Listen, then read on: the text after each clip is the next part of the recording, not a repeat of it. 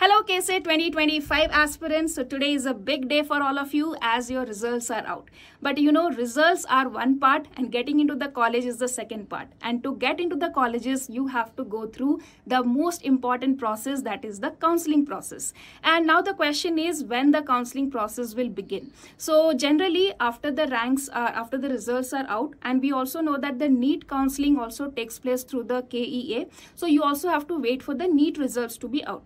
So once once the NEET results are out, the KCET results are already out, some of the seats results are yet to be out. So once these all results are out, we can expect the counseling process to start towards the end of the June. Okay, so tentatively it will be starting towards the June end or July first week. So at this point of time, you don't have to sit idle. Rather, you should do proper research about all the colleges. Okay, in our channel, we are bringing up a lot of videos with different cutoffs, different colleges. So please do watch them and decide your rank and which all colleges will fall in your ca category so that you can uh, be prepared for the option entry and counseling process.